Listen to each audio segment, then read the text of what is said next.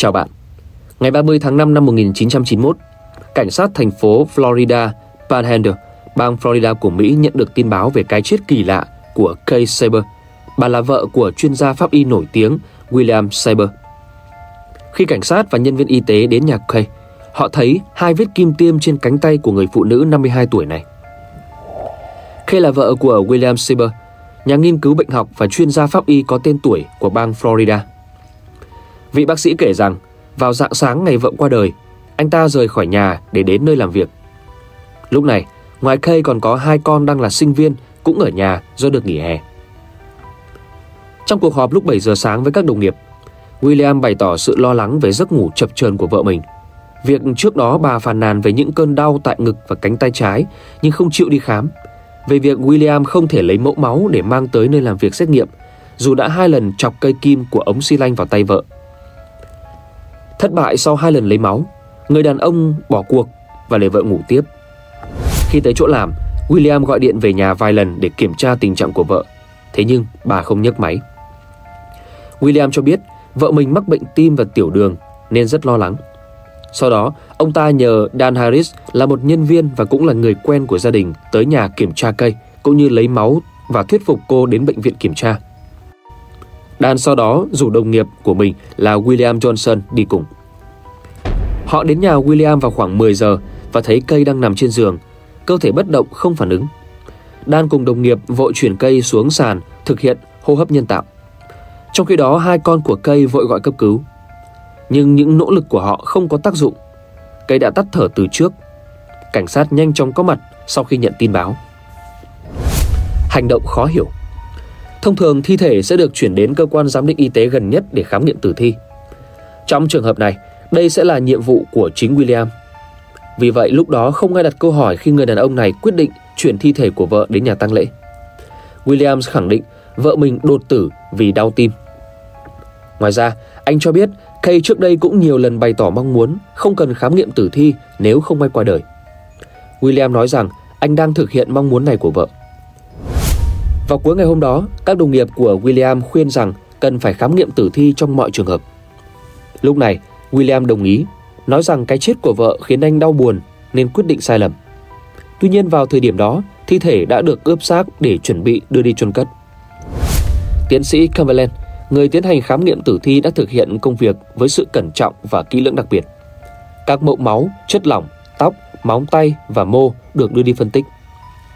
Vị chuyên gia kết luận hai vết kim tiêm trên cánh tay phải của cây mang những đặc điểm của việc tiêm chất lỏng vào cơ thể, chứ không phải hút máu và xi lanh. Tim cùng các cơ quan nội tạng của cây đều bình thường, không có tổn thương. Dữ liệu từ mọi hồ sơ y tế của cây cho thấy cô không mắc bệnh tim hay tiểu đường như William nói. Cái chết khó hiểu. Manh mối mà cảnh sát có được là những vết bầm tím trên cơ thể cây, hai vết kim tiêm trên cánh tay và việc cây không có tiền sử bệnh lý nào có thể dẫn đến cái chết bất ngờ như vậy. Tuy nhiên, tất cả điều này đều có thể được phản bác bằng những lời giải thích hợp lý. Các nhân viên y tế tại hiện trường đã giải thích cho vết bầm tím là do trong quá trình hô hấp nhân tạo và trong khi di chuyển thi thể xuống cầu thang hẹp của ngôi nhà.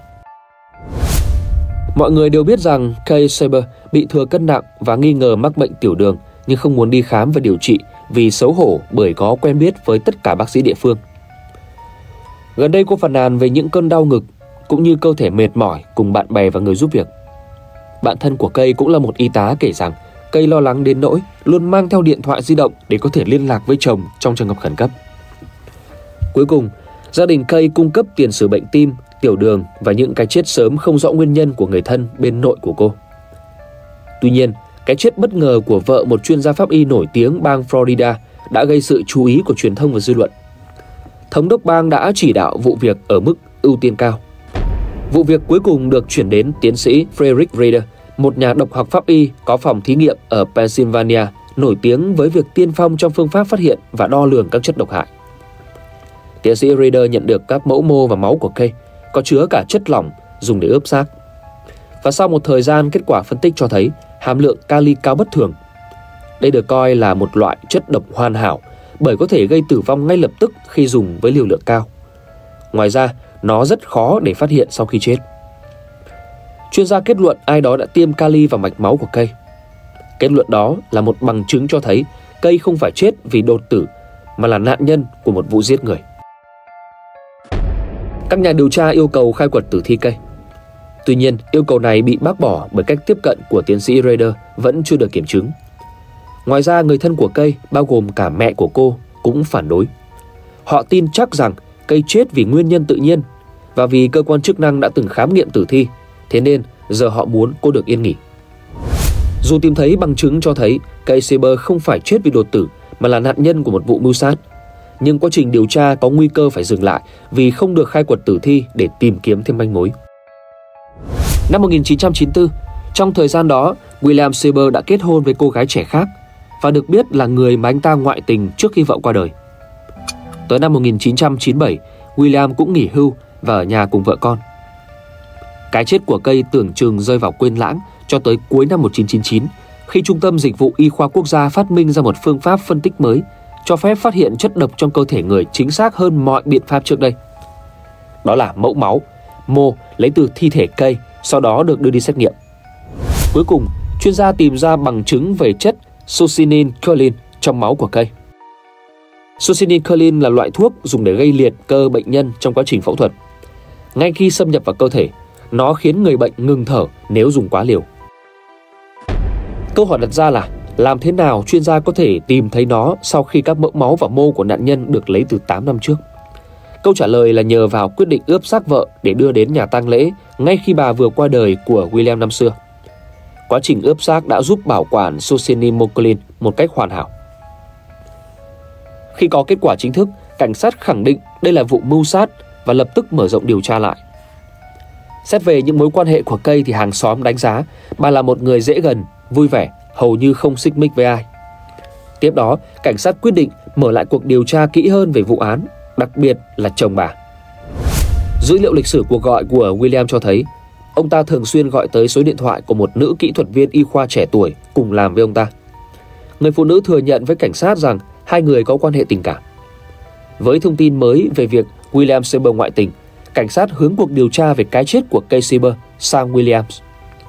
Là bác sĩ, William có điều kiện tiếp cận Susie Nicklin và hoàn toàn biết cách để sử dụng nó khiến vợ mình qua đời. Cảnh sát yêu cầu William tường thuật những việc mà ông đã thực hiện trước khi cây qua đời. Vị bác sĩ kể lại quá trình hành động vào ngày 30 tháng 5 năm 1991, nhưng vẫn là những câu chuyện như trước – vì ông ta có nói đã dùng kim tiêm lấy máu nên công tố viên yêu cầu William cho họ xem xi lanh mà ông ta dùng để lấy máu cây. Thế nhưng, vị bác sĩ nói rằng ông ta đã vứt xi lanh trên đường tới cơ quan. Về người vợ mới cưới, cô gái này chỉ hơn con gái ông có vài tuổi. Khi gặp công tố viên, người phụ nữ thừa nhận cô và William có quan hệ tình cảm trước khi cây bị sát hại. Theo công tố viên, William có động cơ lớn là sát hại vợ để có thể tiếp tục cuộc tình ngoài luồng với nữ kỹ thuật viên này. Cơ quan công tố cáo buộc William giết vợ vào ngày 30 tháng 5 năm 1991 để có thể kết hôn với người tình. Điều này khiến ông không bị mất đi một nửa số tài sản chung trị giá 6 triệu đô la Mỹ nếu ly hôn. Giả thuyết của cơ quan công tố là vào tối 29 tháng 5 năm 1991 hoặc dạng sáng 30 tháng 5 năm 1991. Khi cây đang ngủ, William tiêm chất succinylcholine vào cánh tay phải của vợ, khiến bà ngừng thở rồi tử vong ngay lập tức. Vào sáng hôm đó, ông ta vẫn đi làm bình thường rồi diễn màn kịch ông ta đã chuẩn bị từ trước khi nói với đồng nghiệp rằng cây hay bị đau tim và tiểu đường.